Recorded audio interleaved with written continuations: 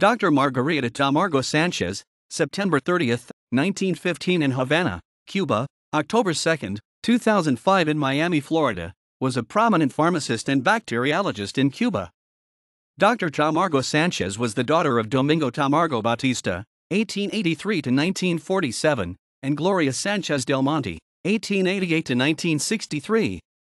She never married but had three siblings Ana Gloria, 1910 to 1996, wife of Francisco Diaz Silveira Lopez, Domingo Alberto, 1913 to 2002, and Alberto, 1919 to 1984. She graduated from University of Havana in 1939, obtaining a doctorate degree in pharmacy, and became the director of the pharmacy department of the Antituberculosis Children's Hospital in Havana.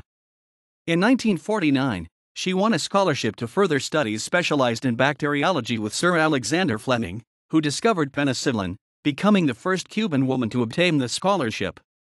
She studied under the direction of Dr. Fleming at St. Mary's Hospital in the University of London and, later, Dr. Fleming and his wife visited Tamargo Sanchez and her family in Cuba, where, at her request, he lectured at the University of Havana. She came to the United States in 1968 and worked at Mount Sinai Hospital, New York until her retirement in 1980. She then spent her last 22 years in Miami with her family.